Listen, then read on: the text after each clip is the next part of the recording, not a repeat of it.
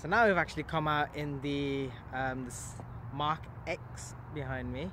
It's a Toyota, very cool little car. It's got the same engine as the IS250s, um, so it's a V6 petrol, but they just look completely out of the world. Again, that's the thing when you get a Japanese car, you're just gonna get something different. So I'm just gonna snap some pictures up of this car now, and we're gonna do a little tour around it and take it from there. Just a very quick little look at the interior and it's really nice and clean this one is.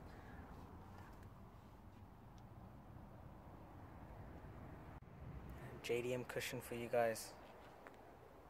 But the seats I believe that they have some form of like folding down mechanism the way they are at the moment. Or they might actually recline. Let's check that out. So guys this car is so cool. So this little handle here basically adjusts where you want the seat to be. So um, it's got loads of different positions. You can make it recline all the way back. Or you can bring it forward. Such a unique little feature. Never seen a car with a manual setup like that.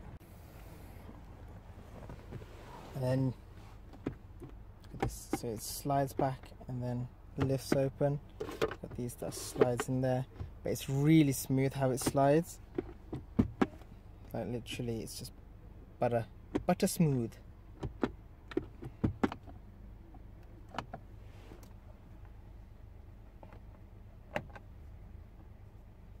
Everything on the car is literally so nice. This one's got like a, a rear view camera and everything is keyless entry. And it's also got self parking mode. And this is car I think it's from 2005 so it's a lot of tech for a car from that time. It's really cool yeah, let's go out for a drive now. Japanese setup everywhere. Okay, the nav doesn't work because we're not in Japan. No, I but don't. No, uh, everything else is fine.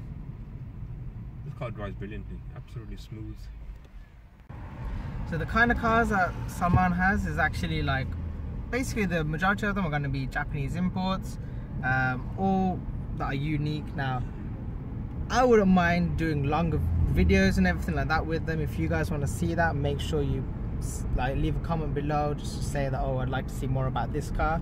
Um, and I'll speak to someone and we'll try and get something arranged for you guys to be able to get a better view of them all. That's um, still come in person. Yeah, you come down in person if you guys are local or if you want to make the trip down, want to see the cars up close, just come down. I'll put the link below in the description. Um, and you guys can obviously get in contact with Salman himself again the, the kind of cars that you're going to be able to get here if you want something different unique something that no one else has and stands out seeing the kind of cars he has they're really cool. I'm really happy the fact that i've been able to come and check out these cars you know. Japanese enthusiast here being able to see cars right from japan it's wicked. You can't beat it. You just can't beat it. And honestly, this car is so smooth. It's like, what else can you expect from a car like this?